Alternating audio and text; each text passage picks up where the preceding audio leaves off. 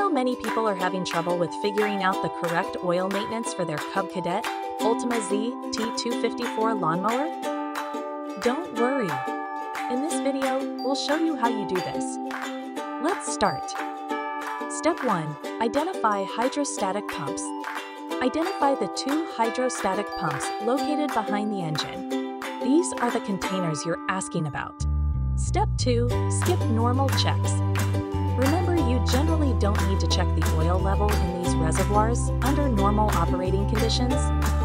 Step 3. Change oil carefully.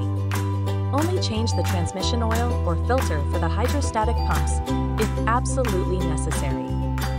Do this with caution. Step 4. Prepare for storage.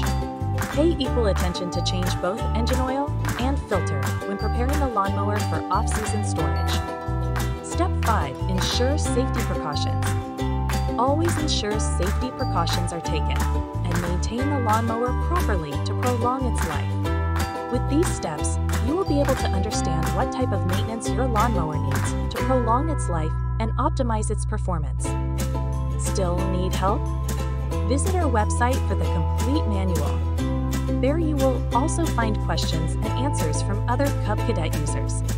Did you find this video helpful? By subscribing, you help us continue to answer users' questions. So, subscribe to our channel. Thanks for watching, and see you in the next video.